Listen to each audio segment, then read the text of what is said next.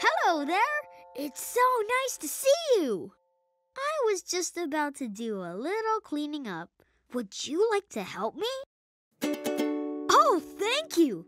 Let's see where to start. How about these books? Where would be a good place to put them? The bookshelf, of course, with all the other books. What about these crayons? Oh, yes, on the table with the other crayons. You're good at this. Do you like my stuffies? This one is a heffalump. I'm a heffalump. And this one is a woozle.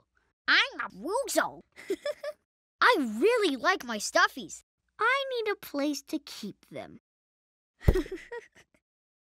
Maybe I can keep my stuffies inside this old honey pot. There's no honey. I checked. Do you think the stuffies will fit in here? Let's see. Yep, they fit. So now I have to decide where to put the jar. Oh, here's a good spot for it. There we go. And now for the last thing my honey dipper. I like to use it to eat honey. Yum. This should go in the cupboard by my honey pots. Happy honey pots! Wow, it's so much cleaner. It's much easier to see where things are without the mess. Oh, like that harmonica.